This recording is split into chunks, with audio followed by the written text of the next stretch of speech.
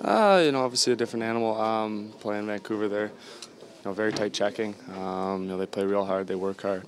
Um, yeah, so they'll be fired up. It's their season opener, a home opener. It'll be a good game.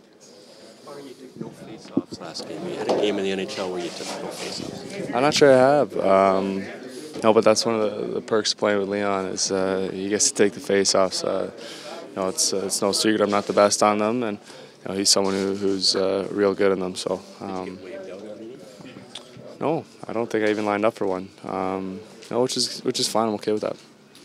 I know you get all the attention for the hat trick the other night, but it seemed like a pretty convincing team performance. I mean, how, how well did you guys play as a group? Yeah, I thought everyone played well. Um, you know, top to bottom throughout the lineup. Um, I thought our D were real good. They were get, moving the puck up. Um, you know, closing plays off before they got into our zone. Um, you know, they uh, they did a real good job. Talb's obviously in that, so a lot of positives we can take from that game. What does a hat trick in the first game do for you, though, just in terms of jump starting your season? Uh, no, not much. I mean, it, it doesn't really change anything. Um, you know, got to come out here and, and have another good game. Um, uh, got to be consistent throughout the year. Connor, what do you expect from this Canucks team? Some some familiar faces, a few new ones as well. Yeah, you know they, they made a few good uh, acquisitions uh, over the summer. Uh, you know, Del Zotto was a good pickup.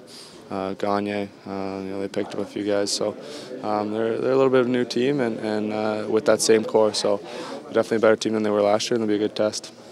Are you moving out there as well as you ever have? Do you think you've even found another gear? Some were speculating. I feel good on the ice. Um, I don't really know. Uh, I don't really know what else to say. I feel good on the ice, and, and that's all that matters.